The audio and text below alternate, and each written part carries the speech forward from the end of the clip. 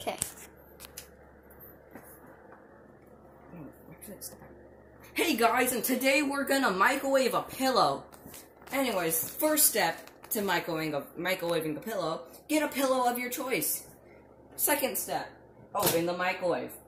Third step, put in your pillow of choice. Fifth, um, fourth step, uh, mi- close the microwave. Sixth step, you punch, and then you let it cook.